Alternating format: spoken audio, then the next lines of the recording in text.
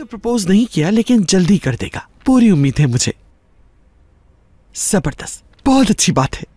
और अच्छी बात यह है कि वो भी सर्जन है। उसकी पढ़ाई अभी खत्म हुई है। आखिरकार हमें ऐसी लड़की मिल गई जो हमारे खानदान का हिस्सा बने। वरना तो मुझे लगा था कि वो कहीं उस फजूल सी लड़की से शादी ना कर ले। नैना हाँ। तुमने मुझे हॉस्पिटल में खुद पसंद कहा था ना? नहीं तो? और तुमने मुझे ओवर स्मार्ट भी नहीं, नहीं कहा था तो? ना अच्छा नहीं कहा था नहीं कहा था झूठ बोल रही करो हाँ? मुझे झूठ बोल रही होती है नहीं करो। हाँ अच्छा कहा था।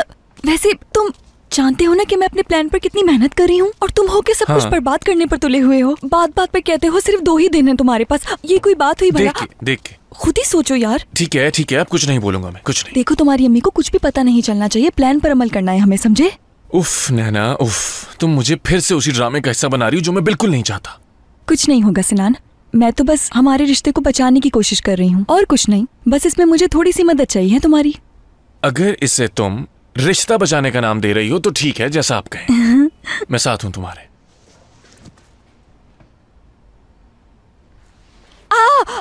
हाथ मत लगाना हाथ मत लगाना बहुत दर्द हो रहा है मुझे। ये बहुत बुरी तरह से फंस गए हैं। तुम हाथ हटाओ अपना आ, आ, हाँ, निकाल। खींचो मत खींचो मत। आ, आ, नैना, आराम से, मुझे निकालने दो, नहीं छोड़ो तुम, से। मैं निकाल लूँगी छोड़ो तुम। सिनान मुझे बहुत दर्द हो रहा है। और तुम मुझे अपना हाथ हटा लो प्लीज़ मैं खुद ही निकाल गया लूँगी नैना। छोड़ो। बस थोड़ी देर और ऐसे खड़ी रहो ऐसे खड़ी रहो। रुको रुको।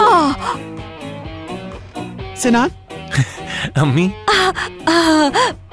सोनिया आंटी हुआ कुछ यूँ है कि मेरे बाल अचानक सिनान की शर्ट के बटन में फंस गए? बस आप कुछ गलत मत समझिएगा।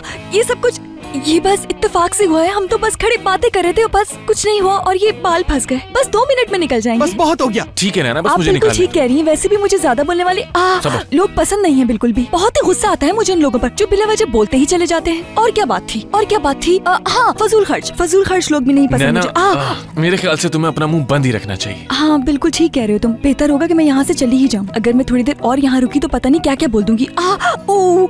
नैना नैना तुम एक मिनट के लिए सुकून से खड़ी होगी ताकि मैं इसे निकाल सकूँ? आ, आ, सोनिया आंटी आप कोई गलत मत समझिएगा। सिनान वैसे मेरी मदद नहीं करता लेकिन अभी मैं मुश्किल में हूँ तो इसलिए मेरी मदद कर रहा है आपके सामने। आ, आ, सिनान तुम रहने दो मैं खुद ही निकाल लूँगी मुझे बहुत दर्द हो रहा है मैं आ, आ, आ, मुझे बहुत दर्द हो रहा है सर में चलो मैं चलती हूँ good night. Good night Naina. चलिए अम्मी हम अंदर चलते हैं। एक मिनट सोनिया आंटी मुझे पूरी उम्मीद है कि आपको कुछ भी गलत नहीं लगा होगा क्योंकि मेरे और सिनान के दरमियान तो कुछ है भी नहीं तो आप बेफिक्र हो जाइए। आ, ओ,